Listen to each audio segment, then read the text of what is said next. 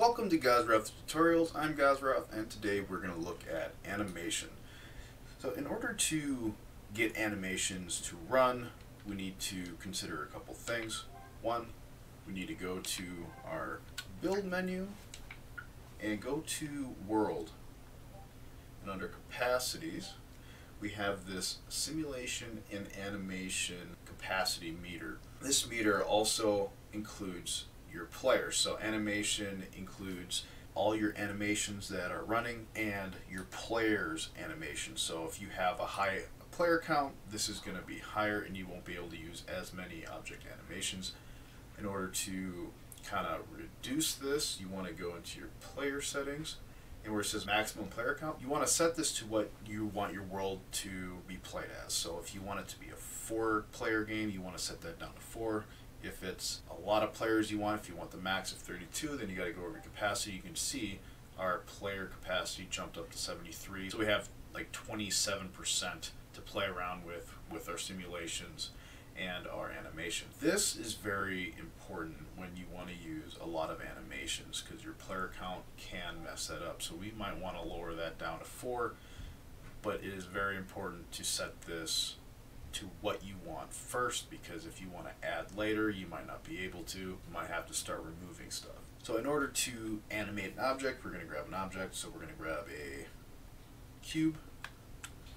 And I kind of showed this in a previous video about object movement. I'm going to go into the settings panel, the attributes. We go to our behavior. In order to animate an object, we want it to be motion set to animated then we can record our animation, play it. We have a loop. We can never loop it. We can continuously loop it, and we can go back and forth, which I will show in a little bit. We can adjust the speed. We're going to record a simple animation, so we're going to hit record. And right now it's recording, so we're just going to grab this guy, bring him over here, and hit stop. Now if we want to play this animation, and we hit play, and it'll run our animation that we just recorded. Let's look at some of these other settings. We have play on start, so when the world starts, it'll do this. And we can change the speed, so if we wanted to make this say 5, hit return, and now it's going to be a lot quicker. We can change the loop to continuous, and it's just going to do that over and over again. We can do back and forth, and just go back and forth just like that. I'm going to turn this off and I'm going to set it back to never. Okay, so that's what you can do with no scripts attached. We can add some scripts, so we're going to go into our build menu, we're going to go to gizmos and add a script gizmo.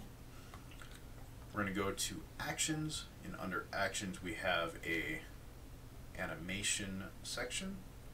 We can play an animation, we can pause an animation, and we can stop. So play animation, basically what that does is it's like hitting this button it's just going to play it. Pause animation, it'll pause it mid-animation. And then if you play again, it will continue from that point. Stop animation will stop wherever it's at, and then it'll bring it back to the beginning. So I'm going to go in here, we're going to record a new animation. That way we can kind of test this, and this is going to be really long. Really long. Let's say right there. And then stop. And I want to bring in another cube quick just to kind of make like a finish line.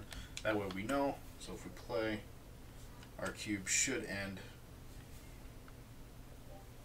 right there. I'm going to add a trigger. So let's go to gizmos. And it shouldn't say right about here. So what I want is when our cube enters our trigger, I want it to pause. So we're going to find when trigger is entered by object we are going to need a variable to hold our cube. So we're going to make this an object. I'm going to call this one cube. And when trigger is entered by object, I want to pause our animation. So we're going to pause animation. And the animation is going to be on our cube. So we're going to drag in our cube here. And then when world starts, we're going to play our animation drag in our cube. We're going to attach our script to our trigger here. Script one. we need to bring in our reference to our cube, which is right here. Drag and drop that guy in there. In order to get it to stop, we need to create an object tag. We're just going to call this cube.